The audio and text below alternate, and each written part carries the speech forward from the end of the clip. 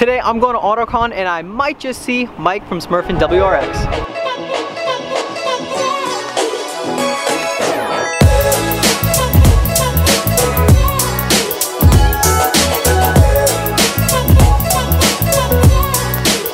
Had to make a quick pit stop at Kung Fu Tea and now we're on our way.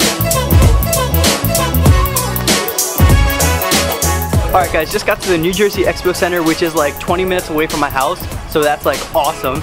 But I'm here with my little brother and Sam and we're heading inside.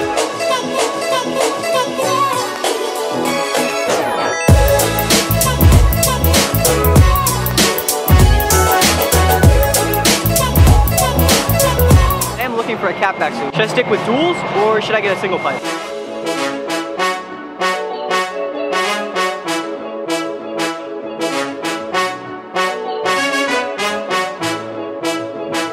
If you guys know me, you know that I love the Blama.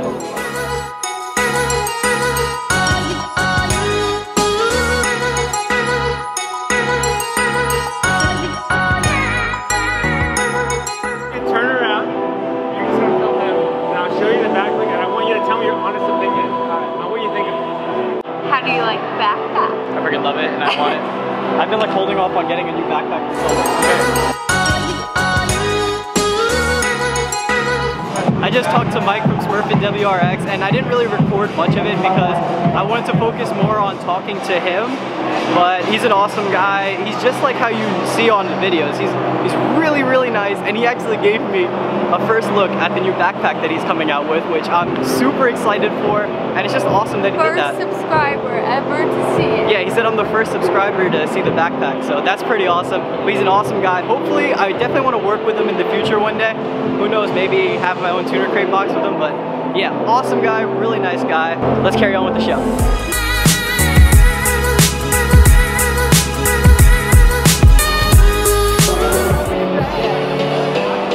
Come, come sit. Even after the Kung Fu tea, I'm still kind of thirsty, so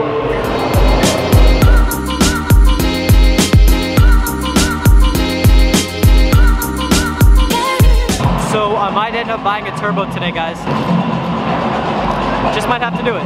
Maybe one day my car will be here and you guys can come out and see your boy's car out in AutoCon. Okay, so originally I bought my car to race on the track. I wanted to use it as like a track monster because obviously the 86 is really good for the track.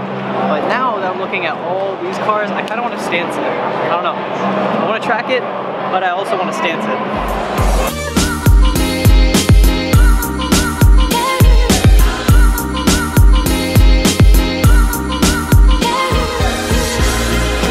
Alright guys, that's it for this video. I hope you guys enjoyed it. Don't forget to hit that subscribe button if you haven't already, and I'll see you guys in the next video.